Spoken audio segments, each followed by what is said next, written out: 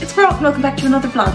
Today I said that I would just do a little what's in my handbag. So my handbag is a Michael Kors one and the biggest thing about this is that it's crossbody. When you open up my handbag, first thing that I've got my sunglasses. These are from Jules, they're actually prescription. These are my normal glasses, they're an old pair of Ted Baker glasses. Next thing I have are my keys. I keep these on a lanyard and it's a little bit embarrassing, but it's the way that I always did it. I never lose them. Got this in Superdrug whenever I was in London. This little Coach um, wallet, I suppose. Oh my gosh, a Penneys voucher.